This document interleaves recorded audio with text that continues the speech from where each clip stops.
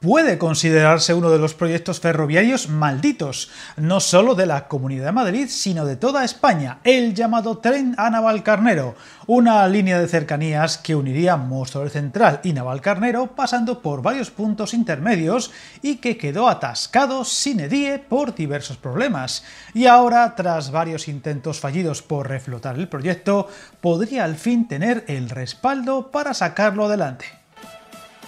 Ya hablamos en un vídeo del canal de este insólito proyecto al tratarse de una línea de cercanías que sufragaría y gestionaría la Comunidad de Madrid en lugar del gobierno central, un proyecto diseñado y aprobado en los años de la bonanza económica, pero que al llegar al estallido de la burbuja inmobiliaria se dio de bruces con la cruda realidad. Esto unido a problemas legales y a rumores de corrupción de por medio, llevaron a lo que sigue siendo hoy en día una de las imágenes y moralejas más poderosas de aquellos años, los trabajos a medio hacer en varios puntos del recorrido, que para más INRI y a pesar de llevar más de una década sin actividad, solo en seguridad o mantenimiento le cuestan a las arcas madrileñas unos nada despreciables 170.000 euros al año, a lo que habría que añadir lo ya invertido en su día, unos 170 millones de euros.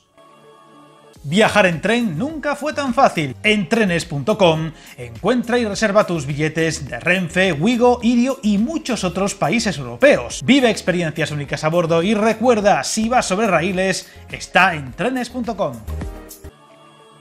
Ahora, y tras varios intentos de retomar el proyecto, aunque con fondos del Ministerio y no de la comunidad, parece que se abre la apuesta a, al menos, iniciar un estudio de viabilidad para la reapertura de la línea, o mejor dicho, retomar las obras donde se dejaron y acabarlas. De salir adelante, dicho estudio evaluará el impacto de continuar dichas obras y acabarlas, cosa que costará bastante más dinero del que faltaba en su día, debido al estado de abandono de lo ya construido o avanzado, y probablemente muchos detalles y puntos de la infraestructura tendrían que reconstruirse desde cero.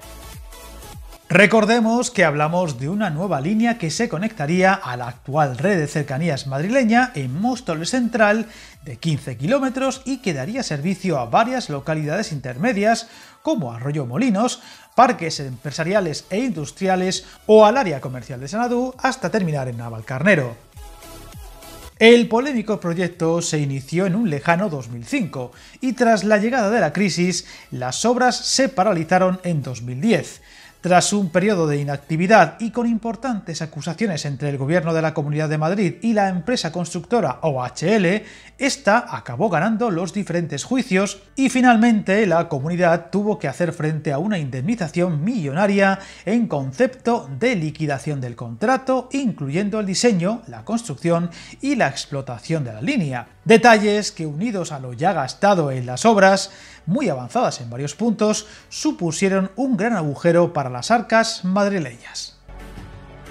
El gobierno autonómico, a través de la Consejería de Transportes e Infraestructuras, lleva reclamando al gobierno central la posibilidad de que asuma el final de la obra y que entren en fondos europeos para ponerla en funcionamiento dentro de la red de cercanías. Ahora, casi 20 años después, se abre una posibilidad de reiniciar el plan a través de la idea del estudio de viabilidad, que sería el que determinaría si es viable económicamente o no algo que muchas fuentes siempre pusieron en duda desde el principio al tener las localidades afectadas menos población de lo habitual para llevar las cercanías. Si bien el caso de Navalcarnero es muy especial, ya que mediante aparcamientos disuasorios podría ayudar a descongestionar la entrada a Madrid desde la A5, uno de los accesos a la capital de España más congestionados a diario. Un caso que se une a los rumores de estos días de tratar de retomar el servicio de cercanías en la estación cerrada años atrás en San Martín de la Vega y el Parque Warner, o el dar impulso al fin a la llegada del tren a varias localidades del norte de la comunidad, que llevan reclamándolo muchos años.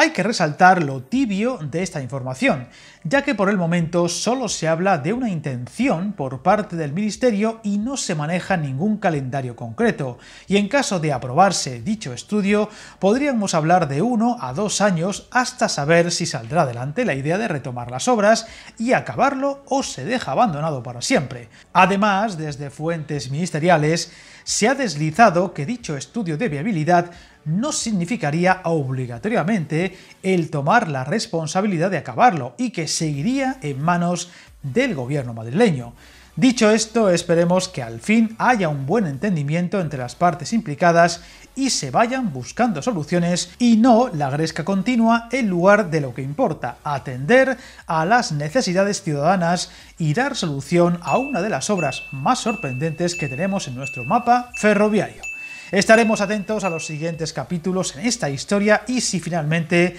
tendremos la buena nueva de retomar las obras o quedarán para el olvido hasta el fin de los días. Suscríbete al canal y recuerda que el camino más largo se inicia con un primer paso.